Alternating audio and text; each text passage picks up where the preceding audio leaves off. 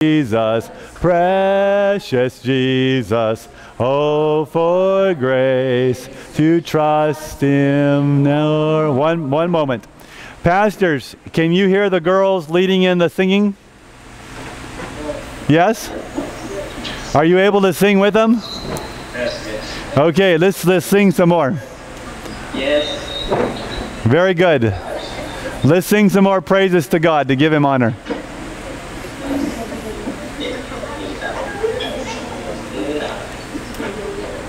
Okay?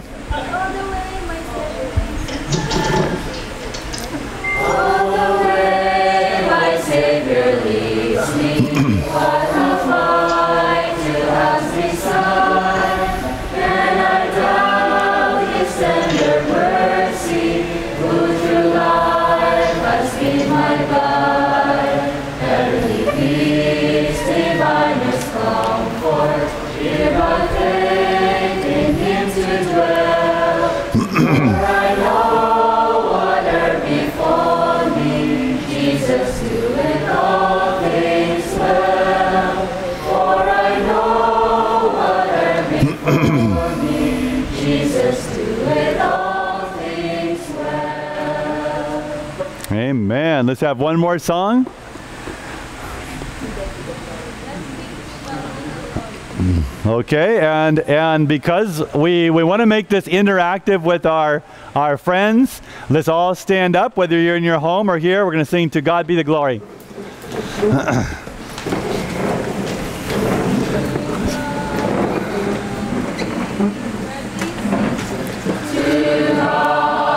Be the glory, great things he has done. So loved he the world that he gave us a Son, who yielded us life an atonement for sin, and opened the life gate that all may go in. Praise the Lord. Let the earth hear his voice. Praise the Lord. Praise the Lord. Let the people rejoice. Oh, come to the Father through Jesus the Son and give him a glory. Great things he hath done. Amen. We can have a seat, everybody. we are beginning a training that I call the call of Elijah. The call of Elijah. And uh, Mike, I'll need you just to move over just a little bit more, your group just a tiny bit more, so I can see all of our friends here. Pastors, church planters, did you bring your Bibles this morning? You got your Bibles? If you didn't get your Bible, please grab your Bibles. Students, did you bring your Bibles? Hold it up if you got your Bibles. Amen. Good, good, good. So, the question this morning, as we're thinking about the call of Elijah, the call of Elijah is an interesting call because in the story of Elijah, we see that there is a man who called Israel back to Jehovah God. And we as a people need to call Israel today back to Jehovah God. Amen? But how can we call Israel back to Jehovah God, like in revival, if we're not first a disciple of Jesus? Are you with me, pastors? Are you with me there? We must be disciples of Jesus first. Now, first thing, let's all agree that we can take our phones and put them on silent. And if you if you're not using your Bible on them, then let's even turn them off. If you're needing them for your Bible, then you leave them on. But let's don't let our phones, pastors, church planters, students, let's don't let them be a distraction. Okay? Now, this morning, uh, how many of you pastors have somebody in the room with you, pastors and church planters? If you have your spouse, uh, if you have some family members so you can be a team, put your thumbs up if you do. If you have somebody in the home with you, put your thumbs up. Okay? Looks like some of you do. Good. Can we move the screen over so I can see who else is uh, putting their thumbs up? Is that possible? Okay. Uh, next group, if, uh, if you have somebody there with you, put your thumbs up. If you have somebody in your home with you, put your thumbs up. Okay. Uh, next screen, if we have a next screen. That's it, just two screens. Very good. Okay, right now I invite you to turn in the Holy Word of God to Matthew 4. Matthew 4.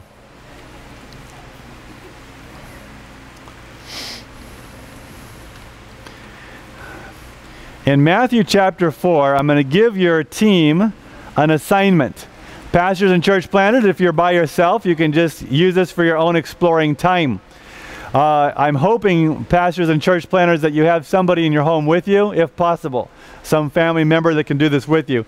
Our students and faculty here definitely want you to do this exercise as a team. Please look at Matthew 4, verses 18 through 20. Matthew 4, 18 through 20. The question is if this was the only passage of Scripture you had, what does this Scripture tell you about what it means to be a disciple of Jesus Christ? If this is the only Scripture you had, what does this tell you about what it means to be a disciple? So, again, for our online audience, our local audience, I'm going to give you about four minutes to read the passage and explore this together. I'll give you four or five minutes. Please study it. Pastors and church planters, if you have a piece of paper, please take notes. We'll be taking answers here just in a few moments. Matthew 4 18 to 20. What does it tell you about being a disciple? Please read it out loud with your circle. and I'll put a timer on my phone so I can time this time. Hmm?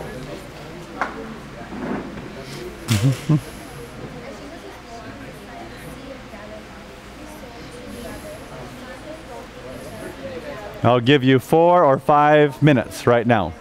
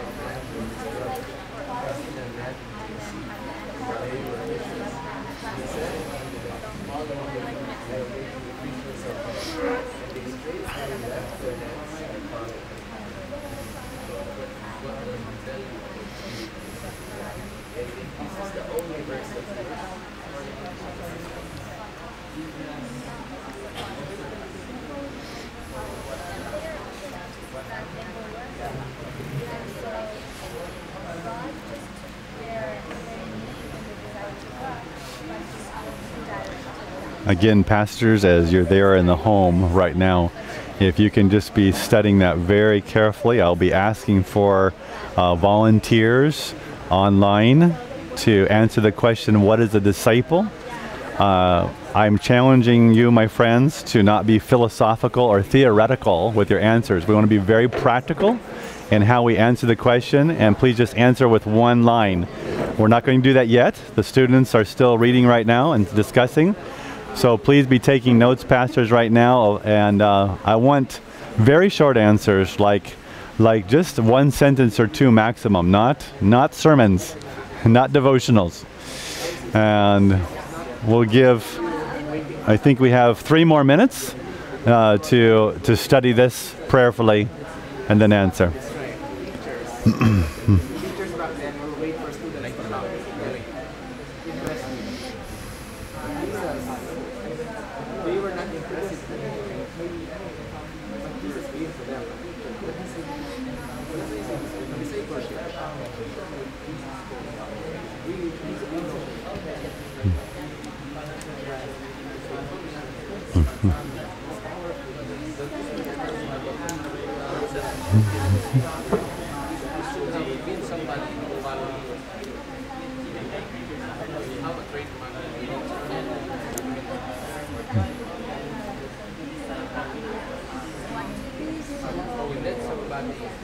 Two more minutes, and then we'll be taking answers.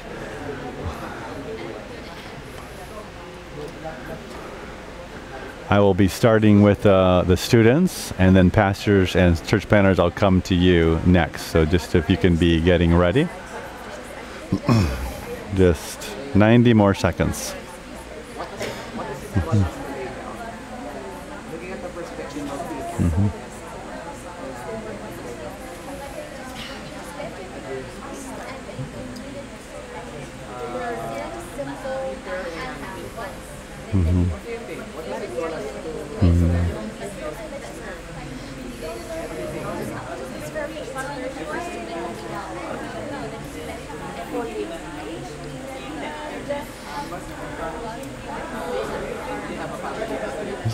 Students, students, one more minute.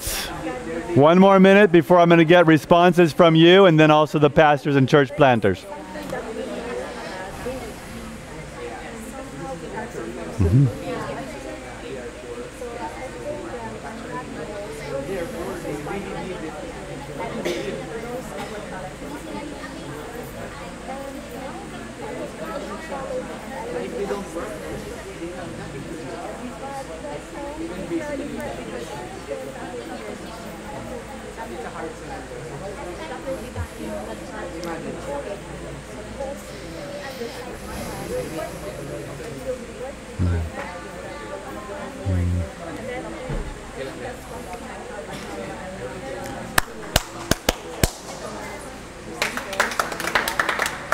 Okay. Uh, I need the microphone up here, and I'm going to invite, first of all, students uh, to come.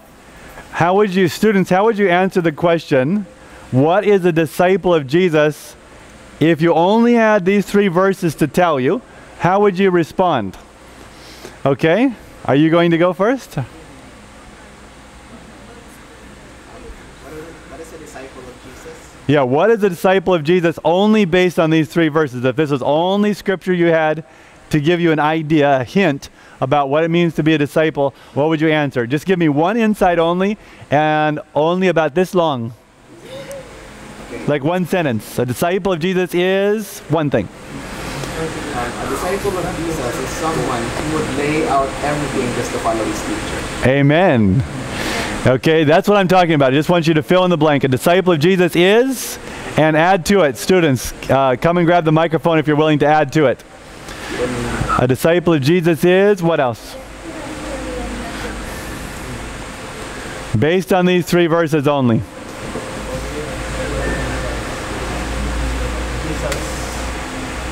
uh, qualifies us. He qualifies us to Use your big voice for us because so we can hear. Amen. Thank you. Uh, a few more students. Let's take two more on this side, and then I'm going to go to the pastors and uh, church planters. What's a disciple of Jesus? Amen. One more, students. What's a disciple of Jesus?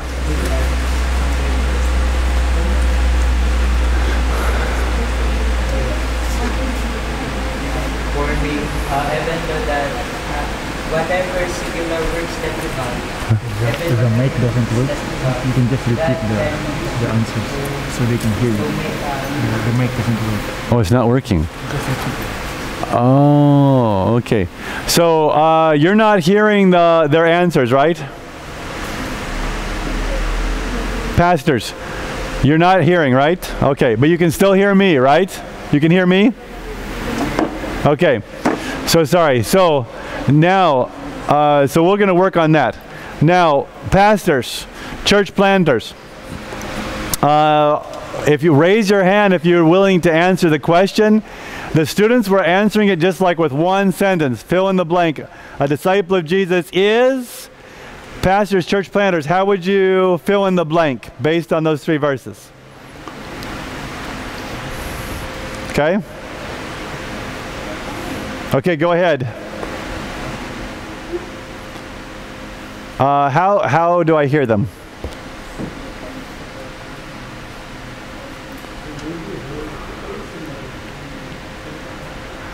Uh, we're not hearing you yet. Can't, can't hear you yet.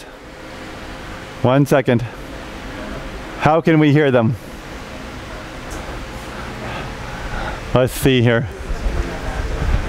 How can we how can we hear? I want to hear I want to hear our pastor in the black with a white shirt, but how do I hear him?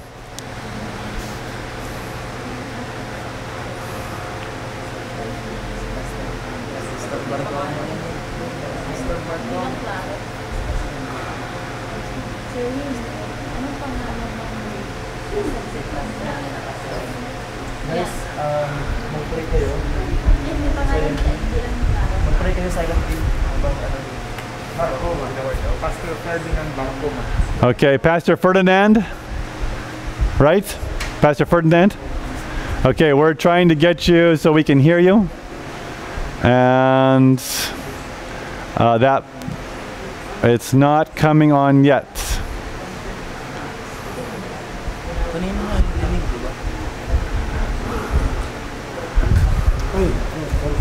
Okay. We're going to do one more exercise while they're getting that because I really want to hear you pastors on this. Pastor Ferdinand, don't forget, okay? What you're about to say. Okay? So, students, students, pastors, and church planters. Next part of the question. If this was the only passage you had in Scripture about who Jesus is, what would you say this teaches about Jesus? So I'm going to give you this time maybe just two or three minutes. Go back to your circles in your homes. If you have someone to discuss this with, ask each other, what does this tell us about who Jesus is based on just these three verses? Let's go. Mhm.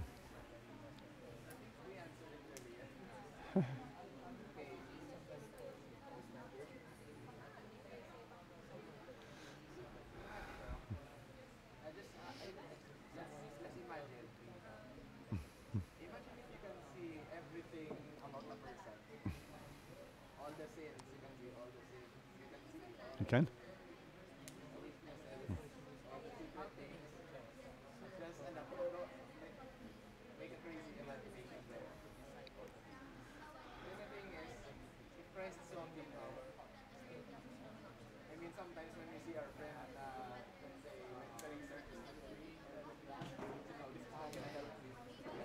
Uh, you get the idea. Okay, everybody. I'm going to call you together now. We have the screen working. Okay, Pastor Ferdinand, what does this passage, first of all, tell us about what it means to be a disciple? Just please a, a short answer, because then after you, I'll ask for a few more pastors, church planters.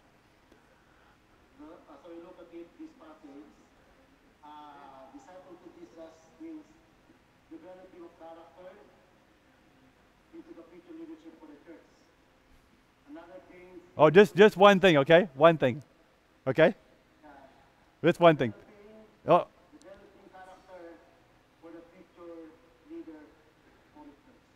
Amen. Thank you very much, Pastor Ferdinand.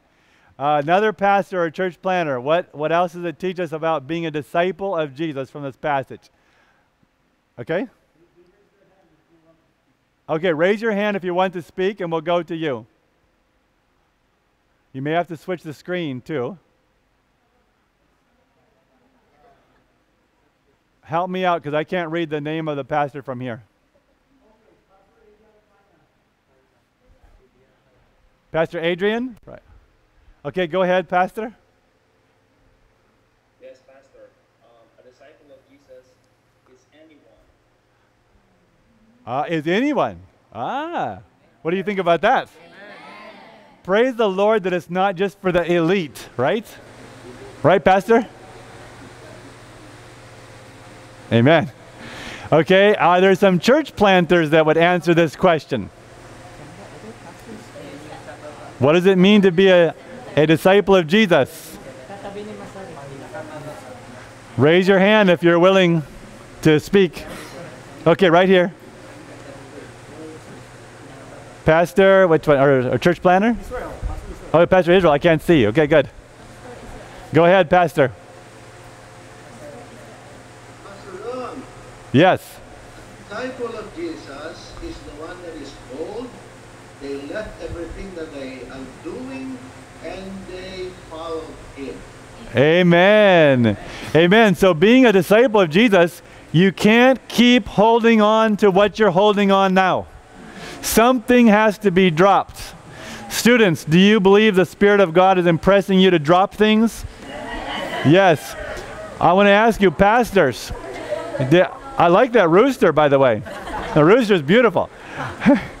pastors, church planters, do even even as pastors, even as pastors and church planters, do we have to drop something to follow Jesus? Do we? Yes or no? Yes. Yes. Is there another church planter that would answer the question, what does it mean to be a disciple of Jesus?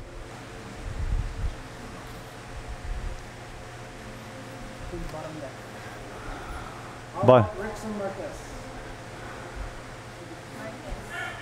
okay, Marcus? He said Rickson? Rickson. Rickson. Would you answer, please? Yes, uh, a disciple of Jesus has a willing heart. Amen. Thank you so much. Yeah, you have a willing heart. Very good. Now, students, students, who is Jesus in this passage? Then I'm going to come back to the pastors. Who is Jesus Christ in this passage? Now, they will not be able to hear you on the mic. Keep your answer very short because I'll have to repeat your answer back to them, okay? So, how would you answer, students? And then I'll repeat it back to the pastors. Yes, sir. Pastor, instead of, of the students or the disciples going to Jesus, he was the one looking for disciples intentionally where they are. he said, our brother here, our uh, younger brother said, instead of Jesus waiting for disciples to come to him, Jesus went to where the people were. So that's something that tells him about who Jesus Christ is. Somebody on this side, what does it tell you? Right over here. Jesus is an initiator. Jesus is an initiator of his people. Amen. Right over here. He has Just short, short, okay, sorry. Jesus is more than you can see, right? He has more plans than what you think he has for you. Someone on this side, right here. Speaks with authority. Jesus speaks with authority and confidence, she says. One more on this side, right here. Jesus is not after your background or your Ah, Jesus is not like hung up on your background, right? Good. Pastors, how, what would you add to that? Based on this passage, what does it tell you, pastors and church planters, about who Jesus Christ is? Raise your hand if you're willing to speak. We can go to the other screen as well, if we need to. I'm looking, I'm not seeing any hands up yet.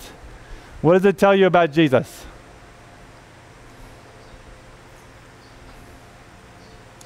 Can we switch the screen or not? Oh, right here. Oh, oh, oh, well, I just lost you. Sorry. uh, keep raising your hand. Keep raising your hand.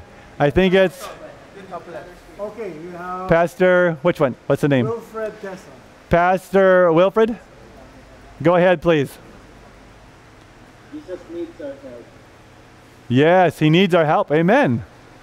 What else does it tell you? Somebody else on the screen.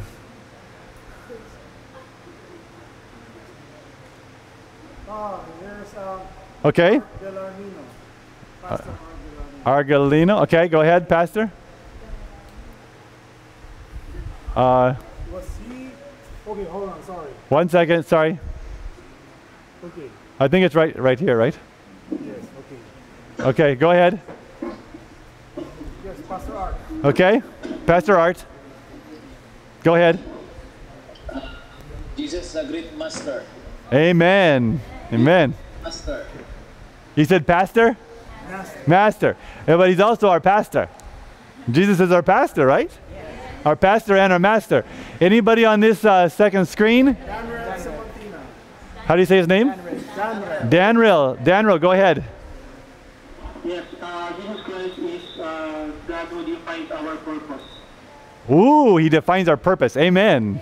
Amen. And what's this young man right here? James. James. James, go ahead, please. Jesus is a disciple himself. He's a what? Jesus is, is a disciple of himself. Oh, yes, he is. Absolutely. Jasar. Hold on. One second. Where did Jasar go? We're looking for Jasar. Jason Riano. Jasar. Raising his hand a while ago. I lost it. Uh, one second. It's now on the third. Oh, he's raising hand. Okay. Uh, Roel, is it? Is that it? Roel? Yeah, well. called uh, qualify, but he qualifies the call. Ooh, amen. Amen. Thank you all. Thank you for this. Now, sorry, sorry, sorry. Watch out because I'm backing up. I can't always see you. Sorry, sorry. I don't want to step on your foot. Okay, now everybody, um, are we willing in this audience, live audience, and our online audience, are we willing to do a survey about being a disciple of Jesus? Are we willing? Are we willing, pastors, if, for me to do a survey? And we'll have all of our heads bowed, okay? So we don't need to look. And, uh, and pastors, you can't see each other, so don't worry about this. But I'm going to ask everybody to answer with their uh, thumbs up. Let me think. No, just put your hand up if it's a yes. If it's a no, just keep your hands down. Pastors, are you uh, understanding? I'm giving a survey, and these are discipling questions. If the answer is yes all the time, then put your hand up for this vote. Um, and if it's no, just keep your hands down. Okay, I'm going to the board right here, and I'm going to be uh, I'm going to be the only one that will be opening your eyes. By the way, everybody needs to close your eyes here because it's not anybody's business here to see how the pastors are answering. And uh, pastors, I'm going to ask you to keep your your uh, eyes closed too because uh, we want to protect the confidentiality of the students, their vote. Okay, pastors? Well, I'll close our, our eyes. So the first question, so teachers the same way here, okay? My first question, I'm just putting this up on the board. My first question is, do you spend, at this time in your life, do you spend, uh, I mean, do you have uh, every day, do you have meaningful time alone with God in His Word? So every day, meaningful time alone with God in His Word. If it's yes, please put your hands up. Okay, so I'm counting the students first, and I'll go to the screen.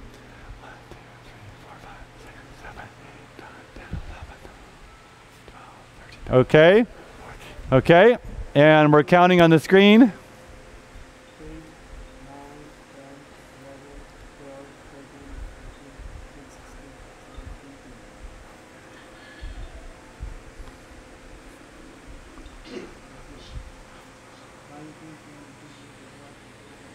Students, can you put your hands down?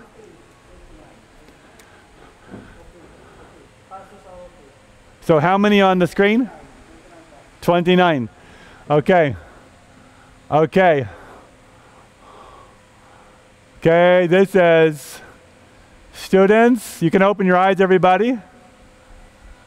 This is students, and this is pastors and church planters. I'm going to do CPS, okay? Now, next question is going to be about prayer. Let's all close our eyes. And pastors and church planters, please close your eyes too, because again, let's make it fair. Uh, the students would like to have their response private, and I want your response to also be private. So, students are not looking at you now. Uh, we're just doing our count. Here's a question number two. If uh, do you have daily unrushed time? If you can close. Your, if you have daily unrushed time in prayer, Do you have daily unrushed time in prayer? Raise your hand if the answer is yes. Okay. 1, 2, 3, 4, 5, 6, 7, 8, 9, 10, 11, 12, 13, 13, 14, 15, 16, 17.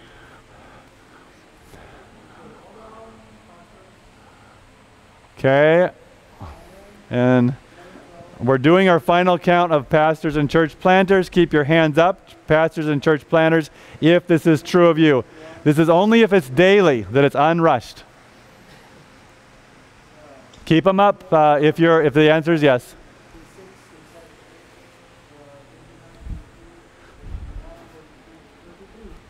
How many? 34. Okay, everybody can look up.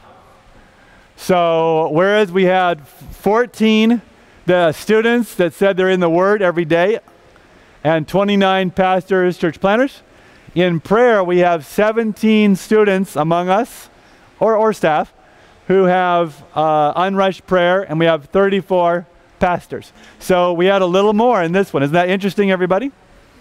Okay, third question. Are you ready, everybody? You ready? Heads down. On the screen, too, please, let's heads down, if you don't mind. So we're not looking at each other. Third question. Third question is uh, Do you have the practice that first thing in the day, you surrender all you are, all you have to Jesus as Lord? Is this your practice every day of the week? If it's yes, please raise your hand. If every day you surrender, first thing, you surrender to Jesus as Lord of all you are and all you have. Keep hands up. One, two, three, four, five, six, seven, eight, nine, 10, 11, 12, 13, 14, 15. Okay, I have the number for our local audience. Yeah, everybody keep your heads down, please. We're not looking yet.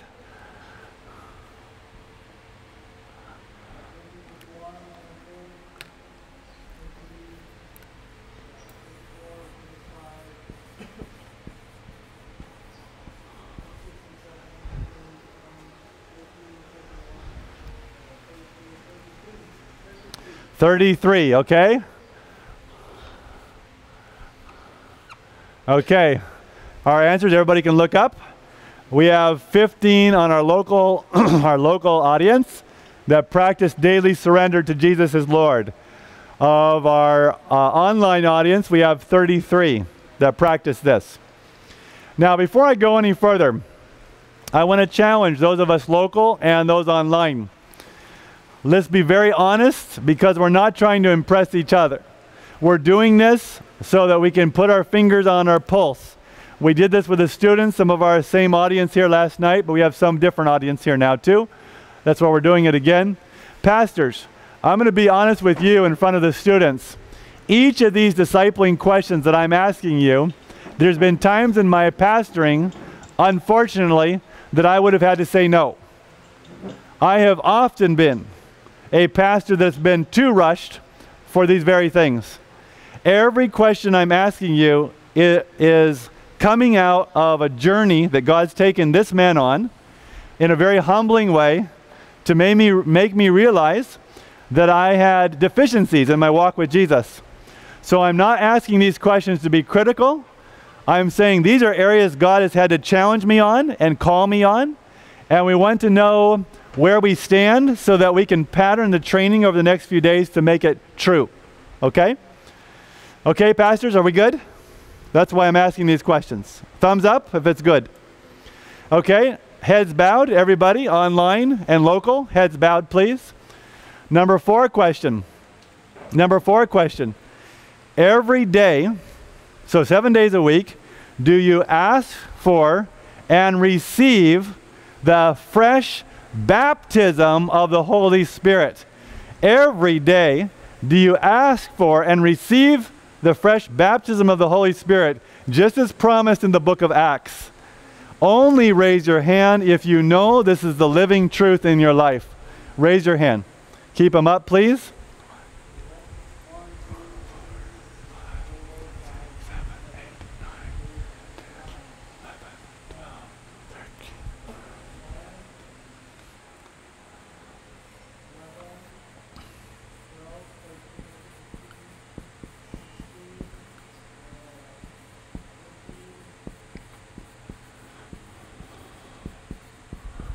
Okay.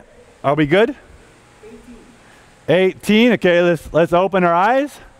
Here's the results.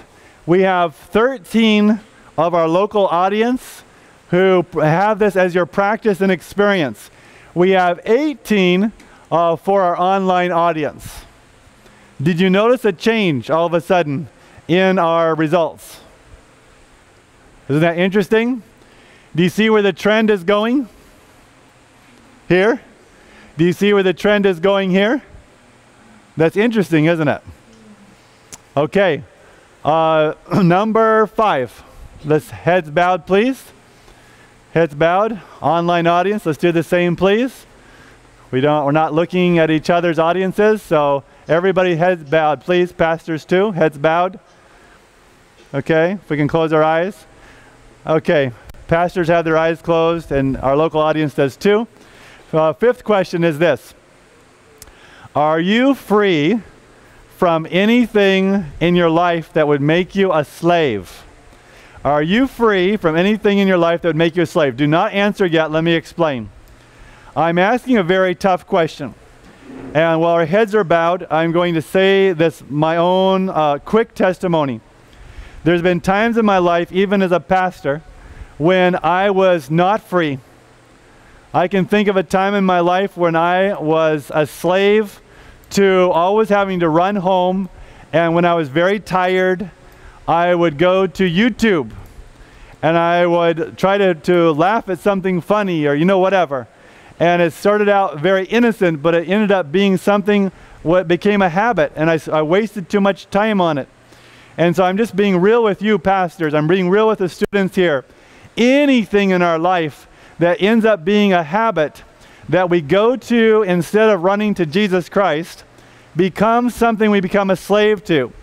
For some people, it's pornography. For some people, it's eating. You know, having to go eat and, and have a treat to eat, you know, sugar. Uh, it could be uh, fear can make us uh, a slave, and also bitterness towards fellow pastors, towards fellow students, towards administrators. That can make us a slave, or towards someone who hurt us in the past. So now I ask the question Are you free right now, today? Are you free in your life from anything that makes you a slave? Has Jesus Christ made you free? And you know you're not a slave to anything by the grace of God. Raise your hand if you know that's true. Only raise it if you know this is actually true in your life. Okay, I'm counting everybody eyes. Please close your eyes, pastors, too, because you don't need to see the local audience. One.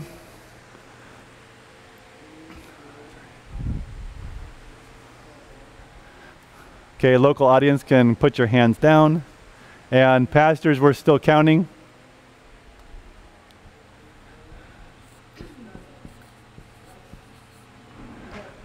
Okay, how many? You said? Okay, open your eyes, everybody. We have three in our local that said they're free by the grace of God. We have 11 out of our, our online audience.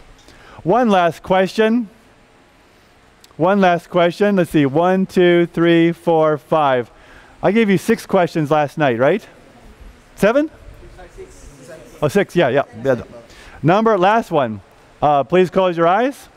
The last one is How many of you are currently. You know what? Let me pause. Open your eyes. I want to do a demonstration first before this. I ask this question so that we interpret it the same way.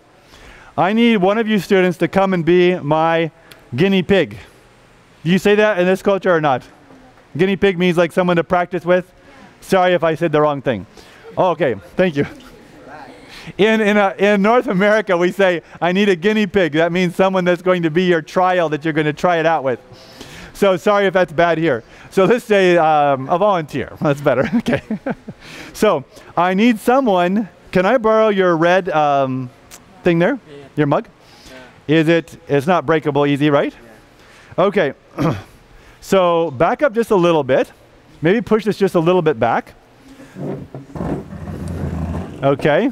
So that our people can see. Sorry, my back's to you. Try to come around so you can see a little bit. So imagine that this is the truth of Jesus Christ. Okay, everybody? Imagine this is the truth of Jesus Christ. Here is, I always say it wrong, Mike. Okay, thank you. Good. Here's Mike. Imagine that Mike is my next door neighbor, and imagine that he is not a Christian. And I want to disciple him to Jesus. Traditionally, in the Seventh day Adventist Church, we think this way. And pastors, tell me if you agree with this. I'm saying traditionally, when we think about sharing Jesus with someone, we think, oh, here's the good news of Jesus, just symbolically. And we think, hmm, he's my next door neighbor. He doesn't know Christ. What can I do? Many times we take the truth, maybe in the form of a what? A brochure, right? And we might say, Mike, hey, you're my neighbor. Good to see you this morning. Hey, here's some good news. And we give them the brochure. And then what do we do? Sometimes we think, I've got Mike covered with the good news. And then we tend to just stay here if you don't mind. I'm going to take that though. But then we tend to go like this Oh, here's Carlo. He lives on the other side of my house. Oh, I have not shared the good news with him. Get ready.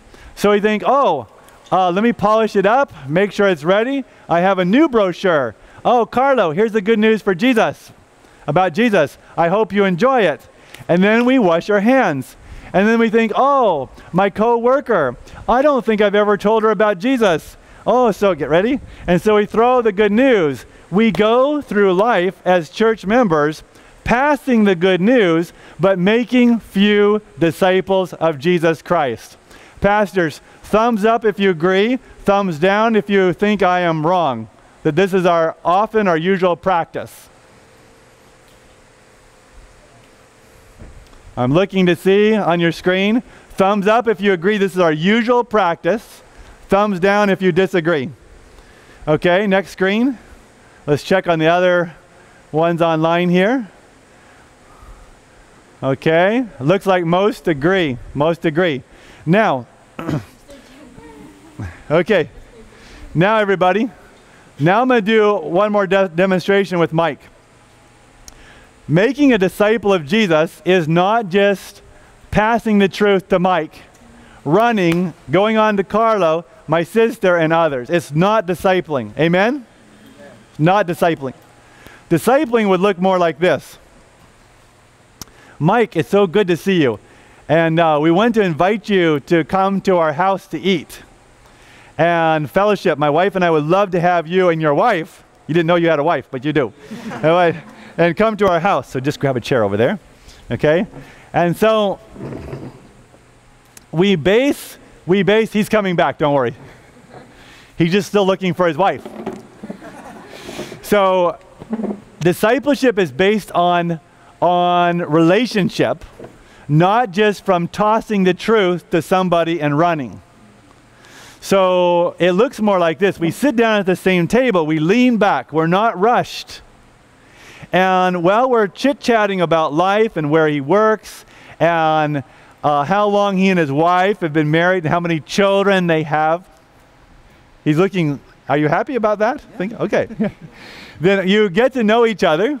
And then when the Holy Spirit tells you it's the right time, you then and only then you share the good news and say, by the way, Mike, I don't know if you know Jesus, uh, but April and I, that's my wife, April and I we are so thankful to know Jesus not just as a church issue, but he's our best friend. And I want to know if we could invite you and your wife and all of your children, your 10 children, to, to come to our home next week and could we, could we explore, explore together about who this Jesus Christ is? And so I'm going to invite you to, to take this Bible. I'm giving you a Bible right now. This is just symbolic. But I'm giving you a Bible because you don't have a Bible, right? No. So here, and I open it up and say, here is one place to read. And would you read this one chapter with your family? And come back next week and see and tell me what you learn about Jesus from this one chapter. Now, he comes back next week. And my wife and I say, here's the meal. We enjoy a meal. My point is not you have to have a meal. My point is you have to have relationship with someone you're discipling. Amen? It's based on relationship. Jesus is so awesome with this. When he walked on earth, He didn't just say, I want to tell you one word about the good news of Jesus. I want to tell you one word. He was always making relationships with people. Amen, Pastor? Amen? So it might look like this uh, Mike, we've been meeting now for several weeks. You've been coming with your lovely family. And um, here, now, I know by now you, you know Jesus as your Savior. And uh, I want to teach you tonight about how to spend time with Jesus. So I, I challenge him to, to, to spend time with Jesus, and I ch- teach him how to do it. And then I say, okay, good night. So if you can walk off the set. He goes off, and I don't see him for a week.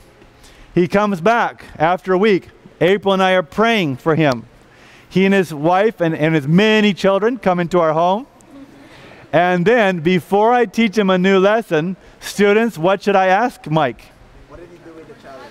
The student said I should ask Mike, what did he do with the challenge from the Word of God, right? The object in discipling is, if you can stand up, it is not enough for, if you can just put that out of the way so they can come back and see. Come back all the way back so they can see. It's not enough for me as a, a disciple maker to know that Mike just has the truth in his head. Pastors, for too many years, we have only passed the truth to people in a way where we think that they know it only here. Students, where does the truth of God need to go? Into Mike's heart. But even then, sometimes, pastors, have we not, and church members, have we not even stopped there and said, well, Mike understands it. We're pretty sure that he loves Jesus. It's a, it's a heart thing. But should we stop there if we're discipling them? Where do we go next? Yeah, into his hands. Meaning, the love of Jesus, the truth of Jesus, must go into the disciples' practice, his life practice, right? It has to affect how he lives. Are we done, students, with discipling him? Where does it need to go next? It needs to go to his feet, meaning what? Yeah, the truth is you just put it down to your foot and then just, it's got to go to his feet, and then you can bring it up again. It's got to go to his feet, and he has to go where? He has to go get somebody else, so bring somebody else up here. Bring someone else up. Just leave the things behind. Okay? And you, you come on this side. It has to all of a sudden start over again. Like until I'm discipling him to disciple someone else, I have not discipled him. And so he would need to start the same thing and just do the thing like head, heart, like it's got to go. What's your first name again? Edson. Edson. It's got to go. Say it with me. It's got to go from Edson's head, head to his heart. heart to his hands to his feet. What do you say? Amen. That's a different. What? Another one. Oh, a student. I'm about to have a learning moment. I love this. Okay, where else does it go? Oh, you mean it needs to go to another person? I thought she's saying it needs to go to another, like to his elbow or something. Okay. Okay, now, are you all ready for my last question? Now, with that, that's my little teaching moment. Okay, everybody, pastors online, let's bow our heads. Uh, local, let's bow our heads for the last question. Number six. With the description that I've just given you of making disciples, not just giving information to people, how many of you are currently and actively discipling someone else to know Jesus in their mind, to have Jesus in their heart, to have Jesus in the life practice, and even discipling them to the point where you see them now discipling someone else? Who in this room and online is actually actively doing that with someone outside the Adventist church, not just church members, but outside the Adventist church. Okay, raise your hand. Okay, online and local, please, right now. Hold it up if, so I know if you're raising it up or not.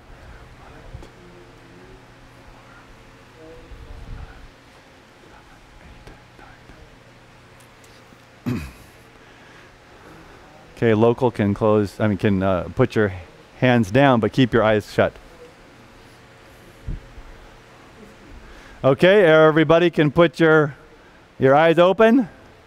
We have nine locally, and how many, Pastor? 16 here. Okay? discipling. Discipling an unbeliever. Or at least someone outside of the church. Okay. now, now I have a tough question for you. Some of you participated in this last night and some not.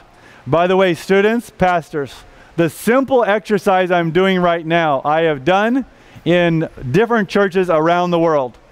I've done it with different pastoral teams around the world. I've done it with teaching teams. I've done it with students.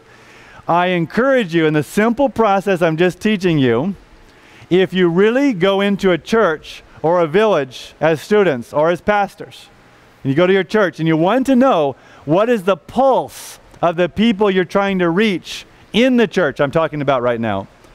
I would encourage you to find a way to ask these simple questions so you know what's the reality. But always do it anonymously. I, usually we'd have like paper, except I can't do paper with my online audience. But usually I would put paper, you know, and just do a yes or no. Is this a tool you can use, everybody? Uh, pastors, if you remember to ask Pastor Israel uh, to email you, I have 13 discipling questions. 13 questions. Would you like to have those? Pastors, would you like to have those? So you email your office, you can get them. And uh, how many of you locally would like to have 13 discipling questions that you can use to help you know about your group that you're trying to reach for Christ? Can you uh, remember to ask your pastors, your two pastors that are here today? Okay, locally? All right? Amen. Here's my question now. In your little groups and our online group, with whoever you're with in your home, I would like you, can you zoom in on these real quick? Okay. I would like you to look at these. And our online audience, you might want to take these down real quick. He's zooming in right here. Can you, if you can see okay, put your thumbs up if you can see the results online. Okay, you can see them.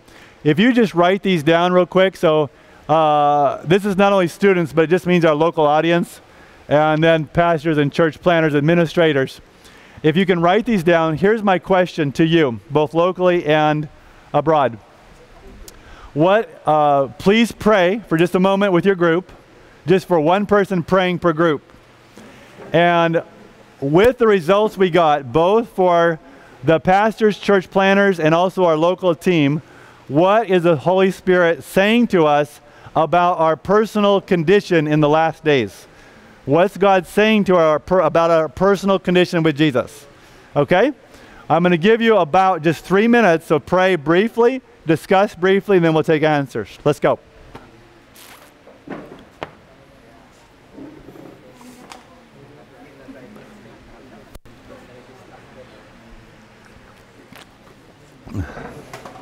I'm putting a timer on for three minutes.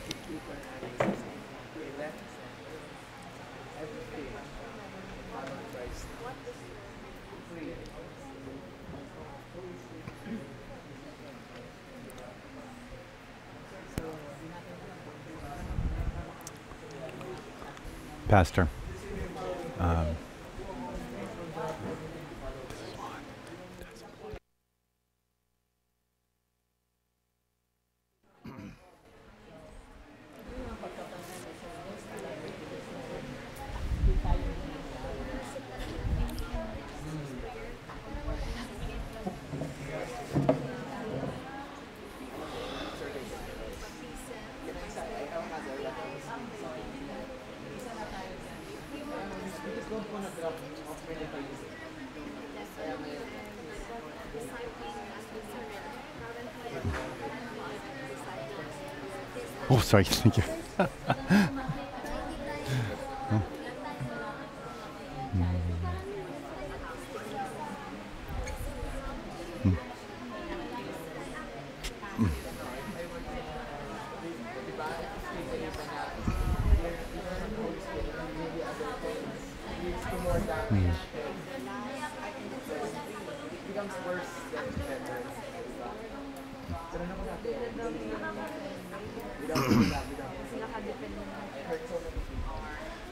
We have one more minute.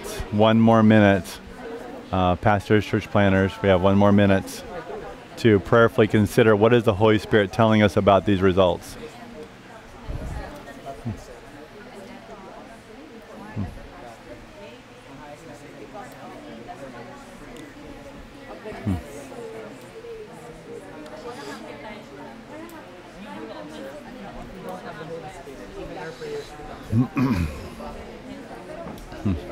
becomes self-centered.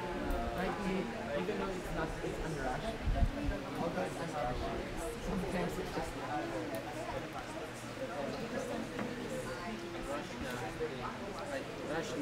Sorry.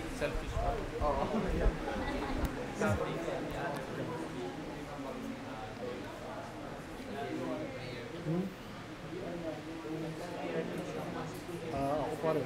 Pero sa ngayon, ah,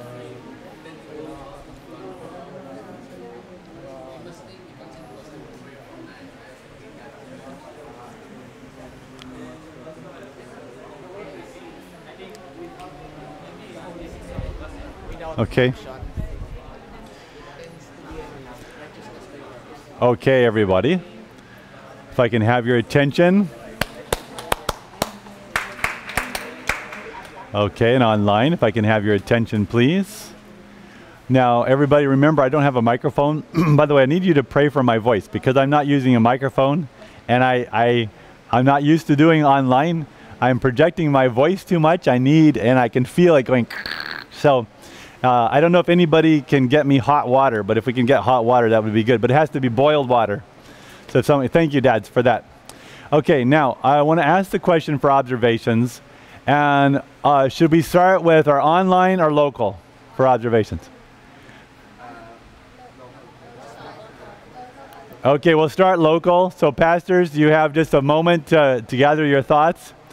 Uh, remember, in, in our observation, I want us to own it about ourselves, not pointing to it. Like, I don't want online pointing to you students and saying you should. I don't want students pointing to online and saying you should. I want us to own it, meaning like this. For instance, you remember when I, I, I talked to you about being free? I owned it by saying there's been times in my life as a pastor I have not been free.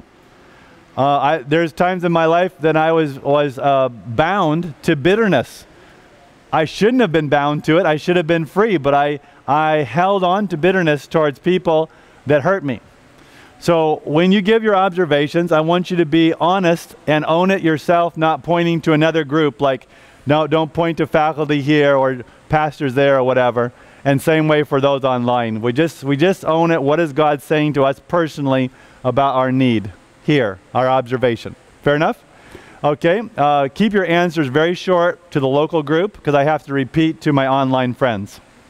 So just like like phrase or sentence because I don't want to have a long thing to say back. Starting right here. Uh, the one student says he feels like it's a rebuke. The Holy Spirit is saying a rebuke to him. Okay? Uh, what else? Who else? What's God saying to you, students, about the results? Yes. If, I would, if I were to own it, before I used to be a legalistic. You have to make it really, really short. Okay. Legalistic. Okay, I have to repeat everything. Yes. So before uh, he says he's been a, a, a legalistic person, Yeah, and in the end, without the Holy Spirit, I made people hate the truth rather than bring. he says he's often made people hate the truth because he was so legalistic. Okay, thank you for sharing. What is God saying to you, brother? Uh, the results telling to us that this is our spiritual journey to Is our spiritual journey to? To God. Okay, thank you.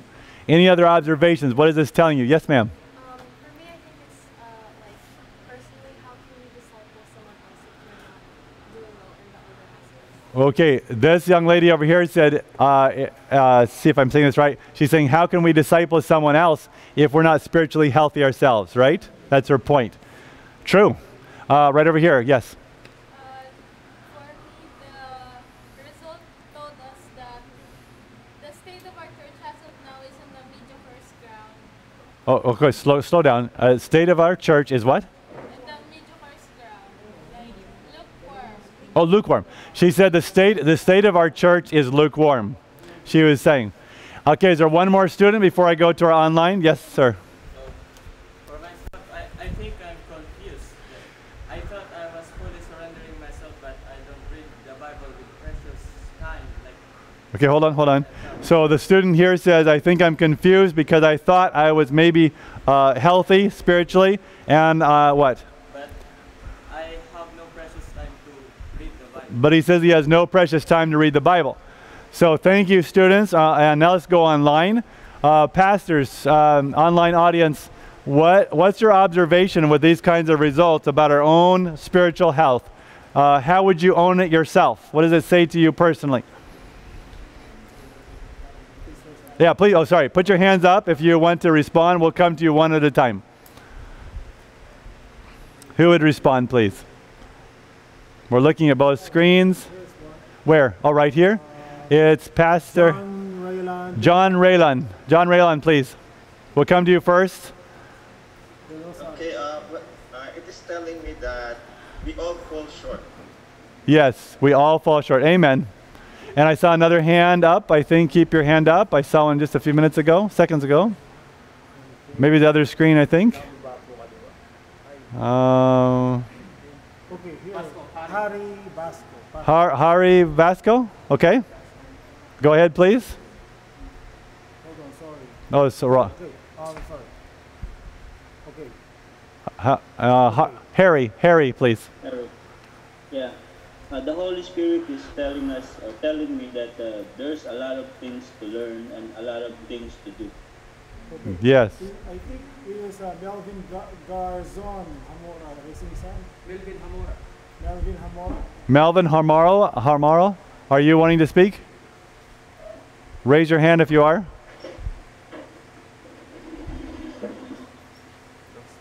Did I get the right name? Yeah, Melvin. Mel Melvin? Where is he? Point to the right. Melvin. We're looking for Melvin on here. We just saw his hand. I don't know if he's raising his hand or fixing his. Uh, Okay, I guess not. Is there anybody that will respond? Anybody else? Raise your hand. We're going back and forth to both screens. Peter. Peter, would you respond, please? Uh, the Holy Spirit is telling me that I need Jesus Christ. Amen. Me too. Yes. The Amen. more that I feel that I'm sinful. Amen. Amen. Anybody else? Online? Uh, I'm going to take one or two more before we go on. Pastor uh, Undet raising his hand. On de- uh, Undet. is Pastor Ondet raising his hand? Raise your uh, higher if, if you're if you're wanting to speak. Thumbs up. Thumbs up. Thumbs up if you're wanting to speak. Is he is he wanting to speak? Nope. I guess not. Is there one anybody else that wants to speak to this? What is this telling us this morning? I'm going to the other screen. Thumbs up if you want to speak. Okay. Uh, I guess no one else has an observation. Where? Right here. Dave. Dave. Dave. Dave. Dave. Dave. Okay. Go ahead. You're on. You're not. You're not uh, audio. There's no audio for you. One second, please. No audio for you. Do you have your audio turned on? No. Do you have your audio turned on, brother, pastor? Everybody else we can hear, but we can't hear you. Huh.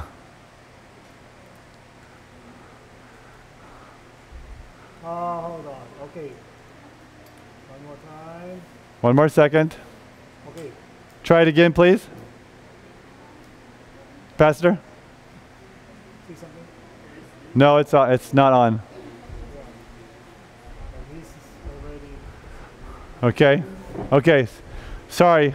Uh, it's not, your audio is not coming through. Let's try one more pastor just to see it. We'll do a test on the audio. Um, who else? Doing thumbs up. Give me thumbs up if you're willing to speak. What is this telling us? Up here in the corner. Back. We're coming to you right now.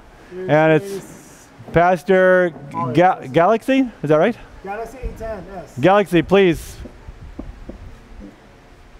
Go ahead. Go ahead. what is God what is God saying to me is that I need um, constant support and properly yielding myself proper yielding at His disposal. Proper. Is, is, uh, so hold on one second. The audio is going in and out.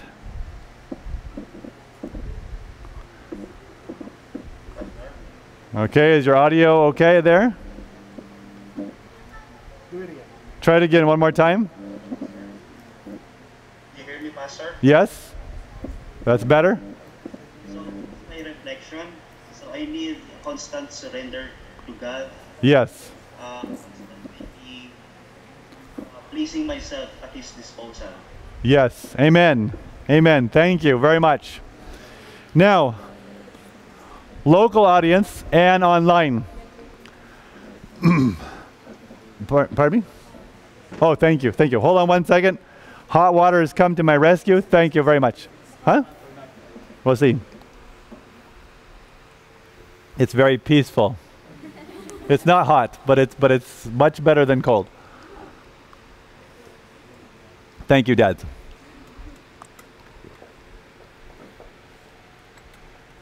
Okay, thank you. Now, how many of you here and online see these results and are willing to focus today and as much as we need to this week on growing first as disciples of Jesus? Not just church members, but disciples of Jesus ourselves, like in a day by day way, so that our life actually becomes contagious for Christ to non believers.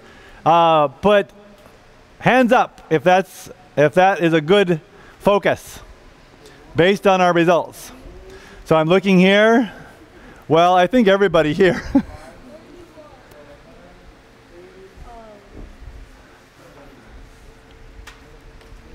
Hands up if you're if you think that's a good focus for us.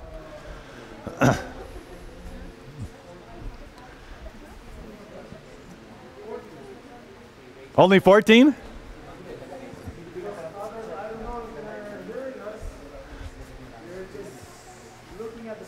Okay, uh, pastors, let me ask you again. We didn't get everybody. Uh, I don't know if you're answering or not. I'm asking the question. Uh, pardon me? Okay, I'm asking the question based on our survey is it a good investment of time to focus our time right now, immediately, on how to live personally as a disciple of Jesus Christ so we can be contagious for people who are not disciples of Jesus Christ? Contagious for the kingdom of God. Thumbs up if you believe this would be a good focus for us based on the results. We're counting right now.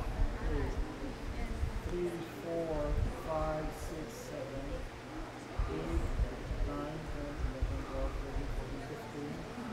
Some of you are not voting, so I don't know. So thumbs up if you're if this is a good focus. 15, 16, 17, 18, 19, 20, 21, 22, 23, 24, Okay. It's almost unanimous, I think. Right? Very good. Okay. Okay, everybody. Okay, everybody.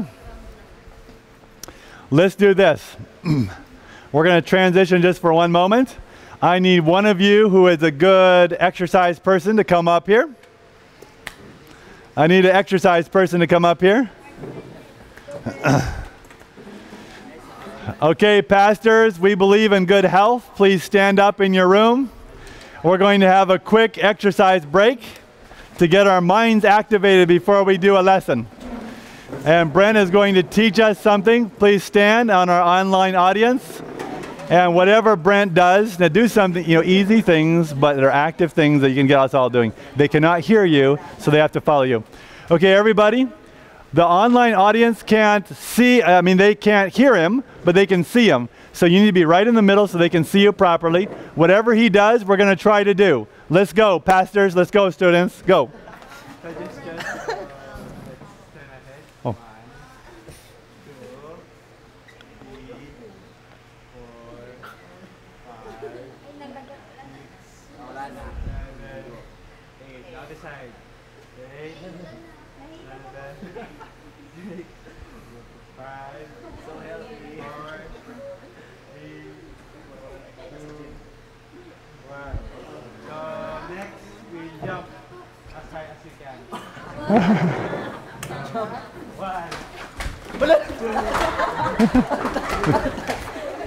Four, five, six, seven, eight, nine, ten.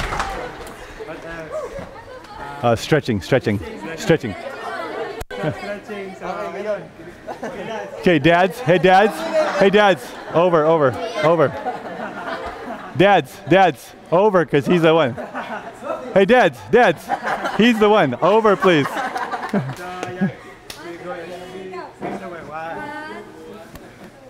Two, three, four, five, And then do one more stretch like to your, to your toes, something like that. seven, eight, nine.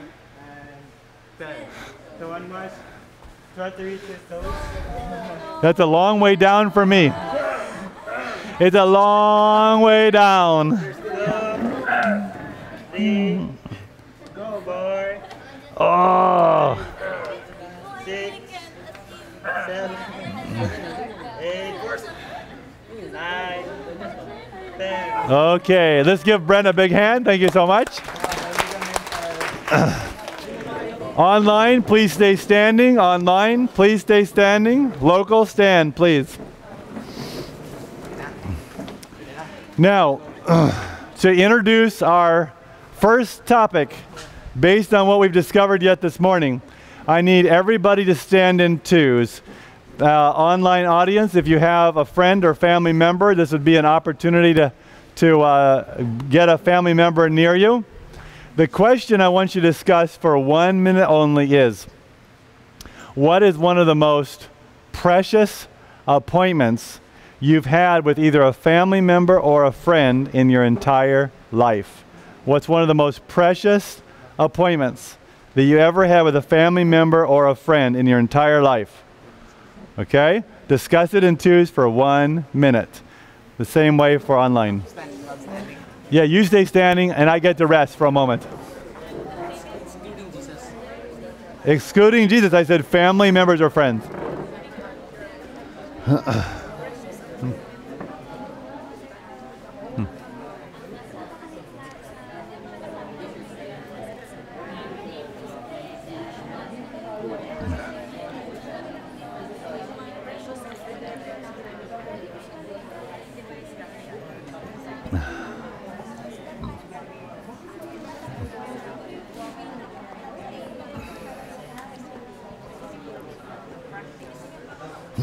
Hmm.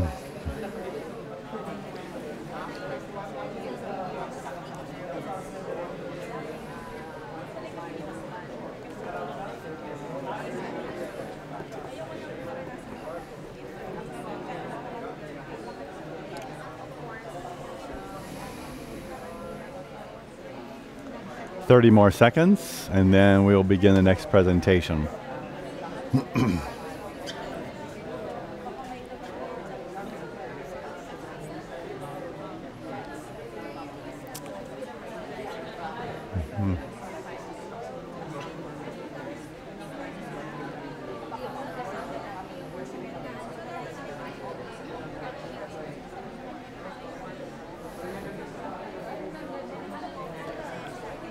Okay, and time is up. Okay.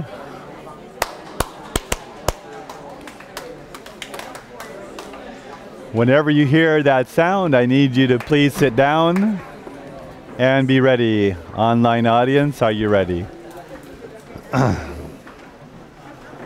Online audience, uh, pastors, excluding Jesus, your appointment with Jesus, uh, pastors, online audience, what is one of the most precious appointments you've had in your life? Uh, does anybody have a quick, quick story, like one minute or less story of a very precious appointment? I'm asking online first. And Pastor Rex is there to see who's going to be the first pastor or church planter to respond. We're checking both screens. Uh, thumbs up if you're willing to tell a quick example of a precious appointment you had. I need to hear, see thumbs up if you're willing to share a time when you had a precious appointment. Which one? Pastor Israel. Pastor Israel. Okay. Shh. Shh. Okay? Almost ready. Okay, Pastor. is my appointment with the Lord. Amen. Amen. Thank you. But how about I'm asking next about appointment with somebody important in your life from family or friends apart from Jesus. Does anybody have an example of an, a very important appointment with somebody in your life? Family or friends? All right, okay. Pastor Daniel. Ernesto. Ernesto, Ernesto. My appointment to my appointment to my family. Hey. My wife. Oh, you said especially to your wife? You're a wise man, my friend. You're a very wise man to have an appointment with your wife. Oh, there she is. Whoa! Hey, let's go back to that screen. Praise the Lord. I, I want to ask the missus, I have a question for your wife. I have a question for your wife. Is in picture. What is your first appointment? I'm trying to see your face, but she left the screen. Oh, she's shy. I, uh, I was going to ask. I was going to ask the Mrs. Pastor. Does your Does your husband remember to have an appointment with you? Okay. What's your question, Pastor? Does Does it, uh, I was asking you. Does your husband remember to have an appointment with you? Yes, yes. Amen. Praise the Lord. By the way, that's really important in our families that we have appointments with each other. Now, now we're going to the topic. Oh, how about you students? Have you ever had a, a point, a important appointment with a friend or a family? Yes. Give me an example. Right here. Family worship and at the same time family meeting. Oh, this girl right here says um, family worship and family meeting is a very important appointment in the style of her home. Amen for that. On this side, give me another example of a, a very important uh, appointment you've had with a family member or a friend. Right here. Pastor. Family. Amen. Good. Now, we're going to discuss, if you're taking notes online, if you're taking notes, or if you're punching this in, I am going to give you a simple presentation on something to address this right here. Because, uh, Pastor Rex, what's our total number online? And I need someone to count how many we have local. Someone count. 53, uh, we have 53 total here. And what do we have local? Okay, 34 here. Okay? Now, I think it's important that we address this issue right here for a start, right? So, if you go into a church, if you go into a village, if you go into your own church, if you want to use this with a small group, it's nice to have an activity first, just like we did, that gets the attention of the people. I call it a connect activity. Over the next few days, I'm going to be teaching you how to construct connect activities so that you don't just go abruptly to someone with the Word of God, but you get them thinking first, laughing first, thinking, uh, using their mind first before you present the Word of God. Does that make sense? Pastors, you with me on that? a connect activity that you can use that with young or old in your churches or small groups to get them uh, like activated first. That's the point. Uh, let's bow our heads as we begin this presentation. Dear God in heaven, we took a very serious survey this morning. We've used some time for it, but it's not wasted time. Sometimes we do not take the time to analyze our audience. And then we present things that are not even relevant. I've done that before as a pastor. Maybe my friends here on campus have done that where they prepared something for their small group, but didn't take the time to figure out what the needs are of the small group. Easy to do, God. Forgive me, forgive us when we have bypassed taking the time to know our audience needs. Maybe that's one of the first things we've learned in this training this morning. Slow down. Know what God is or isn't doing in the audience of one you're discipling, the audience of a small group, or even the audience of a whole church, or even the audience of a whole village in these last days. Because some of us will have the opportunity to go to whole villages with the gospel of the kingdom of God. We must know what's going on first in the hearts of the people. God, guide us right now as we talk about the most important appointment of every day. Move our hearts right now. And God, you please send the Holy Spirit because he's he brings the teaching of Jesus, the best teacher, to our hearts in a way that we can't as humans, and I know I can't. And so please be the teacher right now through your word. In Jesus' name, amen. You know, let's go right now to the book of Genesis. The book of Genesis. Again, if you're putting a heading, if you're taking notes in a way where you can use this to teach somebody else, let's, uh, let's do this.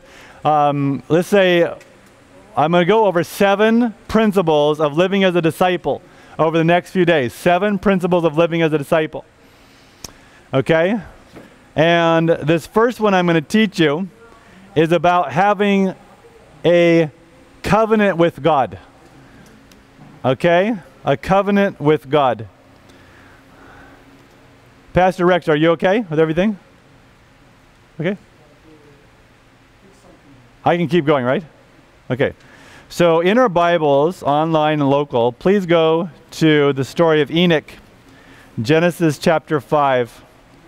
Genesis chapter 5. And please read with your small group and online with someone in your room if someone's with you. Please read verses 21 through 24. Genesis 5, 21 through 24. You're only going to have about two minutes. I want to keep this moving. So see what you can discover about Enoch in that time.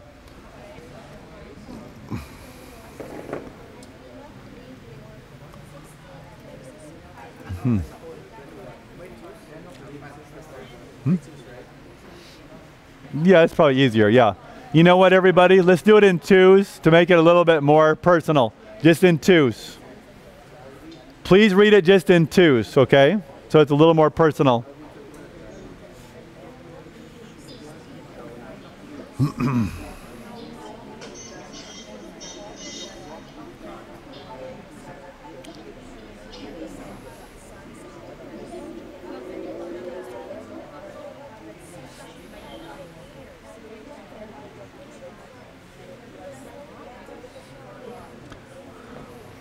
on and online uh, pastors. I'm gonna I'm gonna give you just about two minutes here, and then we'll also be taking your response. So I've got you right here, a two minute timer.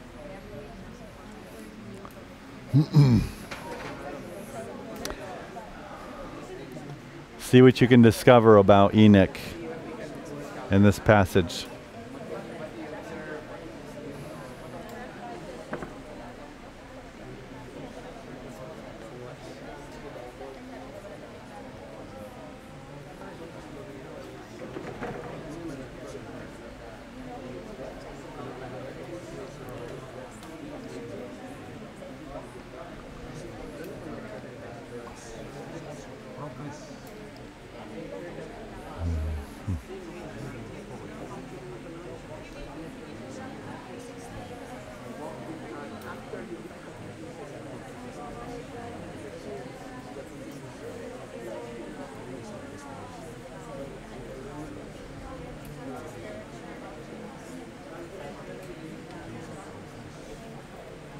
One more minute, and then we'll come to you, pastors uh, and church planters first.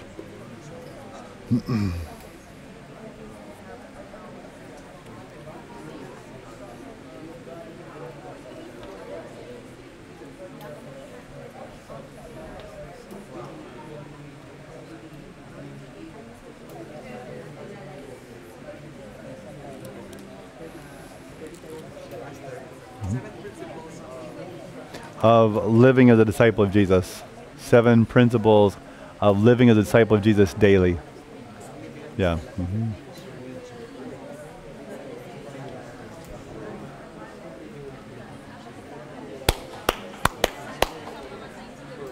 Whenever you hear that, if you could repeat it, please, okay? Shh. Remember, I don't have a mic, so I need you just to listen up, okay? Are you hearing me okay? Okay online. I want to go right to our online audience first on this one. And pastors, what is uh, what does the Word of God say to you about Enoch that touches your heart this morning? I'm just going to take two responses. Pastor Rex is looking for seeing someone raise your hand if you're willing to speak.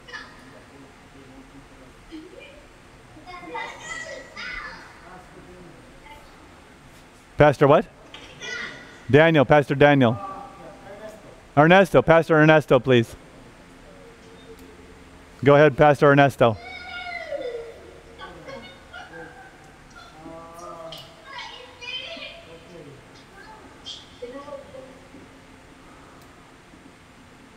Is it okay? Okay. Go ahead, please. Go ahead, Pastor. Pardon me?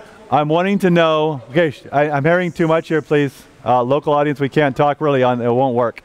Uh, I'm asking the online audience, what does this tell you about Enoch? This passage that touches your heart, or Pastor Ernesto? Yes, Amen. Enoch walked with God, and he's saying we must walk with God. Liz, what else did he say? Throughout his life. Amen. Okay, Pastor Art. Pastor Art, we're coming to you. uh, set a good example to our family in a good relationship and walk with God daily. Yes, amen. Now let's pause, everybody, both locally and here. If you want to do an interesting study, uh, do you have Spirit of Prophecy online here? No problem? Awesome. I would encourage you on your own time, look up Enoch and see not just what you can find in Patriarchs and Prophets, that's a good beginning, but uh, look and see everything you can find on what Ellen White says about Enoch and you'll find some amazing commentary. The Lord God inspired our messenger, Ellen White, to tell us that whatever Enoch had with God, we can have with God today. We act like what Enoch had is too far away from us. But how do you feel to know, students and pastors, that everything Enoch had with God, you can have too? What do you think of that? Amen, pastors? Praise the Lord. Now, the sad thing to me is, and I'm going to be very, very open with you all, and I want you to be honest with yourself. Remember, uh, I'm teaching in a two layer fashion. I'm teaching you, but I'm also giving you lots of little uh, examples and teaching strategies to help you teach others. If you're taking good notes, you can have it first for your own heart, but you can pass it on. If you're taking no notes, it'll probably go and gone. Are you capturing this, you guys? Here's a something to think about. I don't want to erase this, so I'm going to just use a little portion of the board. I need to ask our cameraman to zero in right here. For too much of my life, I have had my time with Jesus in a little tiny what? Box. And as a pastor, even, I would safeguard my box, which is good. In other words, I would safeguard my time with Jesus. I'm going to tell you the strength and the weakness in my life, both as a pastor and just in general. See, when I was a child, I found out that it's important to have time with Jesus. My parents taught me that well. And then as I got big enough to have my own watch, and then bigger, and I got to have my own alarm clock, I thought, well, if I'm going to have consistent time with Jesus, then what do I need to do? What do you think I thought? I need to set my alarm clock with enough time to get up each morning and have time to wash my face, eat my breakfast, have my time with Jesus, and get dressed for school and out the door. Practical way of thinking. The only problem is, as I went into, as old as you are as students in university, and then I went out and became a young pastor and went into the field, this little box became stronger and stronger in the walls of that box. The good thing was is it became a good habit. Are you tracking with me? Like in other words, like it was, there was almost never a day when I wouldn't spend time with Jesus in the Word and in prayer. That's the good news. Bad news is that this box, who was in charge of my time with Jesus, do you think? I was in charge of my time with Jesus. I was in charge of how much time I spent in the Word, how much time I prayed. Do you think that's good or bad? Do you think it's dangerous if we're in charge of that time? So one day, something happened. And for those of you who have my new book, you know the story. And pastors, some of you, uh, well, I don't think any of you have this book, but pastors, um, remember to ask your president, I am willing to send my new book to you. I guess online will be the best way. It's called Live Like Elijah. Live like Elijah. Mark that down on something. Ask Pastor Israel about it.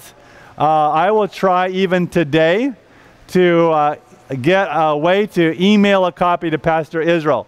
Pastors, how many of you would be interested in an online copy of my new book? It's only about 10 days old, off the press. We can get you an online copy. Would you like that or not? Would you use it if I sent it to you? Okay, we'll try to do that. So anyway, in that, here's a, here's a quick, quick, quick story when I was when I was about eight years ago, I was in Jakarta. And in Jakarta, I was calling people to come and pray with me on top of the roof before I was speaking for the General Conference, had invited me to speak to four divisions of the World Church for children's ministry and youth professionals. And every morning before I would speak, uh, for the first few mornings, I invited the delegates to come and meet me on the roof. Not all of them, just the ones I was training with early before the main meetings began. I was just barely learning about praying for the Holy Spirit then, eight years ago. I wish I could look the pastors in the eye and say that for all my life I had been praying for the Holy Spirit, but I have not done that, unfortunately. So just maybe about eight years ago, I, I just really started just barely learning about praying for this gift. So onto the roof on that one morning came about maybe 20 or 30 people on the 34th floor, at least, maybe 40th floor, overlooking Jakarta, Indonesia. As I called the people to pray, I was praying my nice, tidy prayer, my kind of prayer that I pray as being someone from a free part of the world, such as you are yourselves. You know what I'm saying? where it's kind of like a nice little routine. It's a nice prayer. We're, we're sharing our heart with God, but it's a routine. I had no idea that God was about to teach me a big lesson about being more hungry for Jesus Christ. I'm going like this, I'm praying on the rooftop. There's gravel all over the top of the roof. You ever been on, on that kind of roof? And all of a sudden, as I'm praying, I hear something. And I don't want to open my eyes and be rude, but I hear something. Somebody's weeping. And I look over there, and here is this, this woman from communist China weeping before God, crying. She's got her hands lifted up to God, and she's praying with an intensity that I do not have. Now, I want to ask you, students, something. Would you like to have a prayer life like Enoch? Pastors, do you want to have a prayer life like Enoch that is full of the life of God? Or do you want to have a passive prayer life?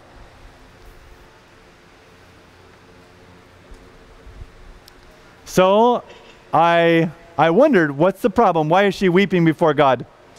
And the next morning, I noticed the same thing, except sometimes I saw other believers from communist China. They had their hands lifted up to God like they were reaching for something. I was not sure what.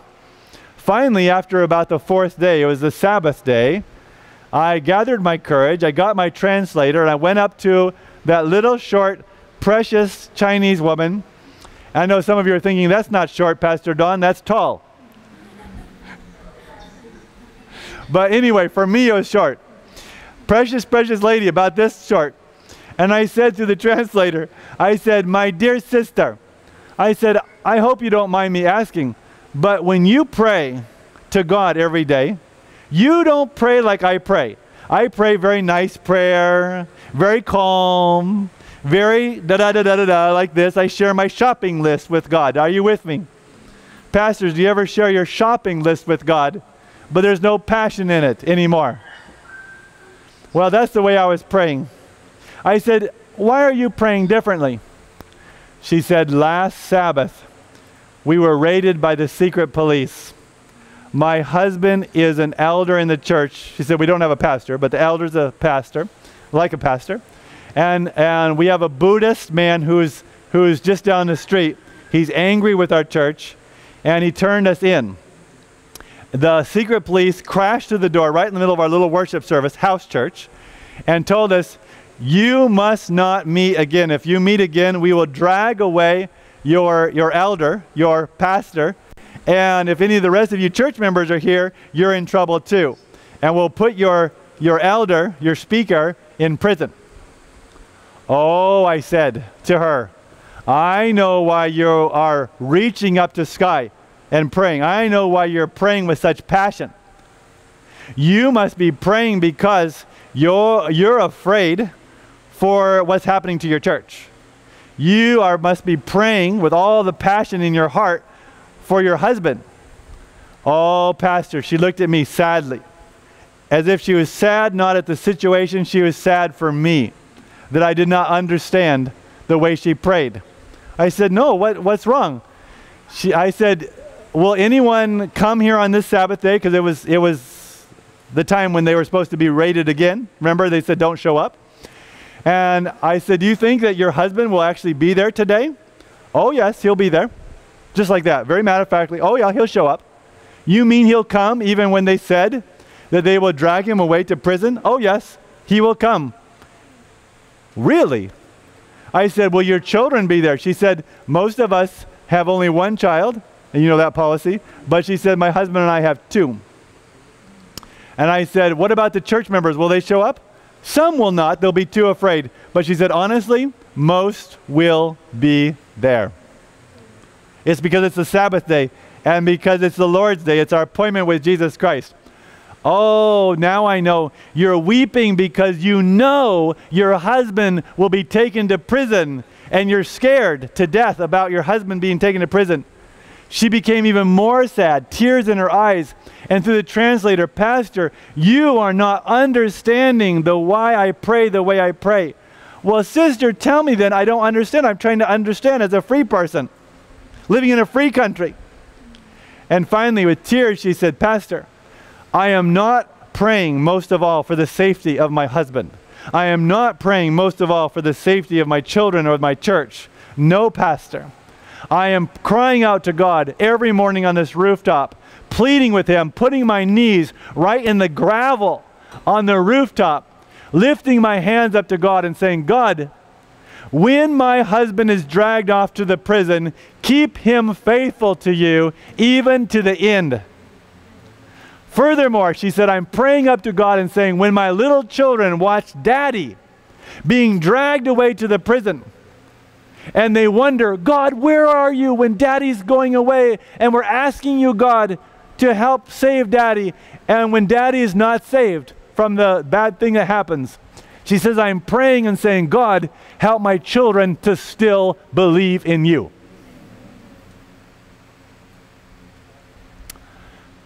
You see, the issue she was praying about is the faithfulness of her family, not the safety of her family. Do you see a difference? Pastors, do you see a difference? Do you see a difference? And so I felt about this small.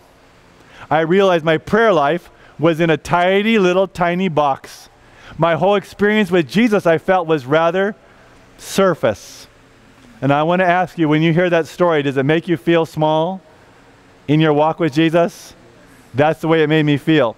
So I did my rest of my training that day, but when I went up to lay my head down that night at, at, for sleep, I first got on my knees and I said, God, have mercy on me as a pastor.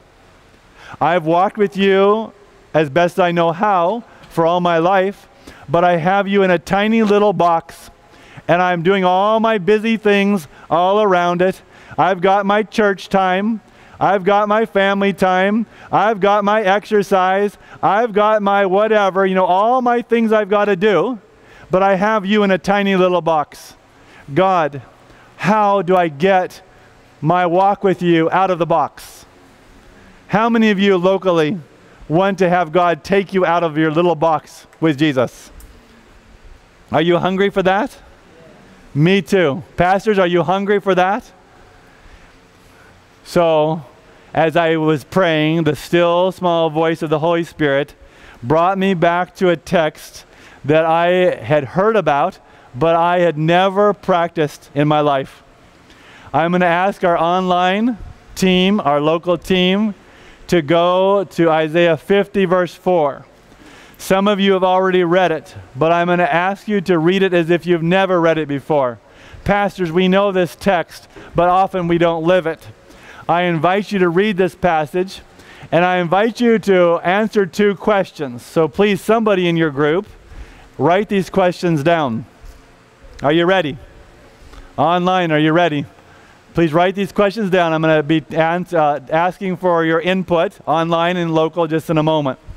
First question. Don't answer me just now. I'm just saying these are your discussion questions. Number one Who is the speaker in Isaiah 50, verse 4? Who is the one giving the testimony? Is it Isaiah? Is it God the Father? Is it some prophet? Who is the one speaking? Number two question. Number two. Number two is in uh, chapter 50, verse 4 of Isaiah. What is the secret? Is there a secret in there for spending time with God that is beyond the box? Time with God according to someone else's agenda, not your agenda. Is there a secret to being on God's agenda for your time with God instead of your time zone? If, you if my questions are understandable, please put your thumbs up online. I want you to know if we're together. Okay, some are giving me thumbs up, some I can't see. Are we good? Oh, it's not clear. Let me try it again. Oh, you can't, you can't hear? Okay. So, repeating again, please go to Isaiah 50, verse 4. First question.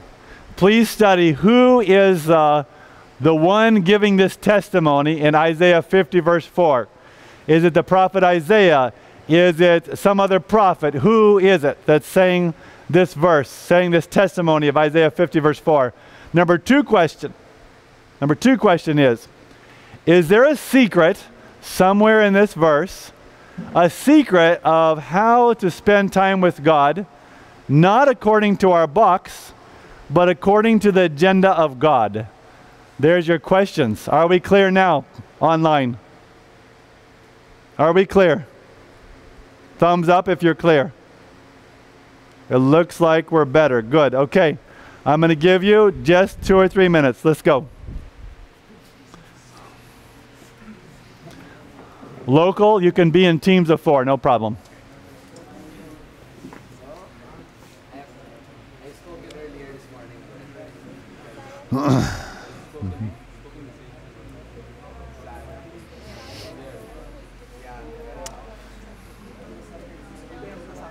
I'm going to give us two or three minutes. Those of us online, two or three minutes.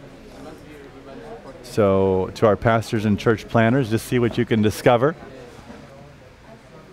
This is a passage that often we as pastors and church planters uh, probably have uh, heard much about, but the question is, what does it mean to us personally? So I'll come, I'll, I'll come and ask that question just in a few moments, a couple minutes.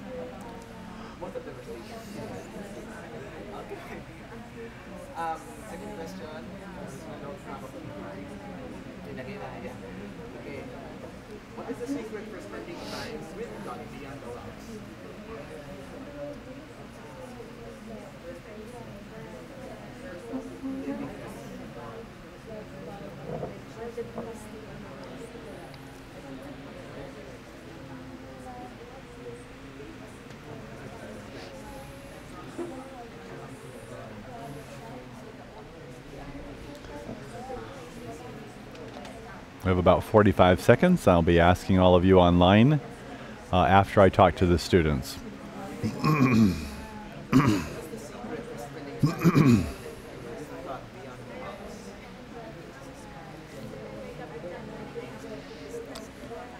Just a half a minute more, everybody. For me, I see is it's asking, it's asking about God's agenda. Kasi God's agenda is not limited to our house. You know, like, like he will get me to listen to his agenda, not to listen to my agenda. You know, you know, they, like when we wake up in the music, God wants me to listen. What do you want me to do? Okay. Our time is now up. If so, if you can hear me, clap twice. Now, if you're still talking, uh, then have everybody else in your group just smile at you. Shh. Okay. Now, my friends, if I can have your attention, please. If when I call for you to, to come back, if you can just stop right away. I'm doing short exercise times because I want our online audience to be able to connect with us. They don't have the benefit of being in your groups, so we keep things moving, okay? So, are we doing all right, local team? Are we doing all right? Are we staying awake? Okay, pastors, are we awake? Are we okay, pastors? Thumbs up if you're okay. Okay, a lot of you are giving me thumbs up. Some of you are just looking at me, so I don't know if you're okay or not. I hope you're okay. There you go. Good, good. Praise the Lord. Now, my friends, I want to start out with the students. Please give me only like like a sentence, like short, because I have to repeat everything back. So, first question is, look with me at verse four. Who is the author of the testimony in verse four? The Messiah, they say. The Messiah. Oh, Isaiah. Oh, you're saying Isaiah. Hmm, they're saying Isaiah says it. That's an interesting one. That's an option. Is there another option of who could be speaking in verse 4? The Messiah. So, so some say it's Isaiah, some say it's the Messiah. Now, pastors, would you please break the tie? Because some of us here say it's Isaiah speaking, Some say it's the Messiah speaking in verse 4. So now I go over to the screen. If you're willing to answer that question, please put your thumb up. Who would speak? We got one right here. What's his name? Pastor Ernesto. Uh, okay, everybody local. Shh. Please. Shh. Okay, Pastor Ernesto, please. What's the answer? The Messiah. The Messiah. Ah. What can you tell the students? Can you tell the students why? Tell us not just from your, your opinion, but is there a hint in that chapter that would lead you to that conclusion? Is there something specific in the following verses that would show us this Messiah that's, that's talking?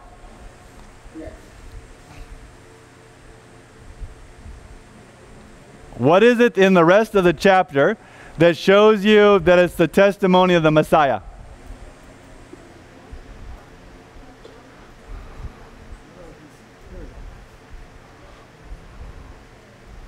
And pastors online, please be looking in your Bibles. Local team, look, is there something specific in this chapter that would would you think might be the reason why Pastor Ernesto is saying it's the Messiah, not Isaiah? So don't answer me yet. Just look in the Word of God. See if you can find it while he's getting ready to answer for us.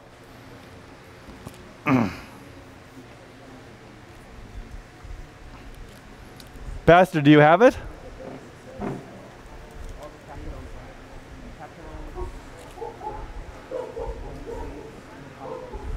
Pastor Ernesto. Did you find something? Yes, uh, according to the verse 5 and 6. Verses 5 and 6. Okay, would you go ahead and read that for us, please? The Lord God had opened my ear and was not rebellious, neither turning back.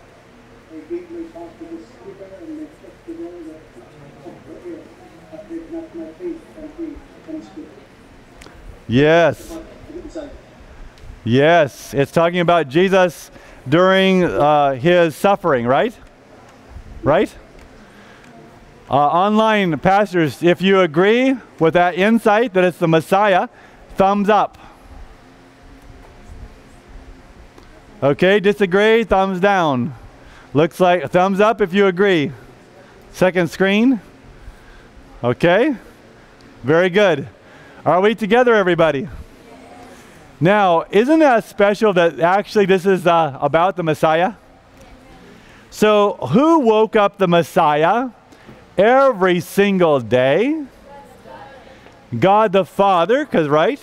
Which, by the way, depending on your translation, when it says the Lord God, is talking about, like we uh, many times interpret Yahweh, like it's, it's, it's God the Father, okay? Now, who knows the secret, though? That's the second question. Who knows the secret to having your time with God, not your agenda, but God's agenda as far as time? I'm asking uh, right now locally, oh, do you see a secret in there somewhere? If you do, give me a short answer. Raise your hand, and I'll, I'll, I'll repeat it back for our online audience. Right here. He's the one who wakes us up.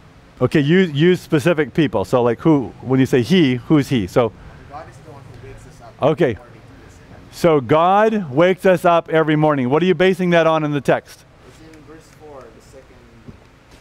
It's in verse 4 when he says, He waketh, he wakeneth morning by morning. He awakens us morning by morning. That's the first part of the secret is that the Messiah is saying that God, the Father, wakes up the Messiah how often? Every morning. Morning by morning. That means every morning. Amen? Pastors, amen to that? Now, next question. Is there another part of the secret? Because it's one thing to have God wake you up, but look, would someone speak to the last part of this text? There's a, the rest of the secret is still in verse 4. Someone else. Okay, I'm going to go online. Online. Pastors, is there another part of the secret of spending time with God where it's you're it's on his agenda, not your own agenda? Look at the last part of verse 4. Would one of you speak to the last part of verse 4? I'm looking at both screens. I don't see any thumbs up. Thumbs up if someone would speak. Let's check the other screen, please. Oh, oh, right here we have one, right here. Pastor, what's the name? Pastor Ata? It's Art? Art Bellarmino. Art what? Bellarmino. Bellarino. Okay, go ahead, brother. You're on. Go ahead, Pastor. Uh, no, no audio yet on you. It's not. It's not.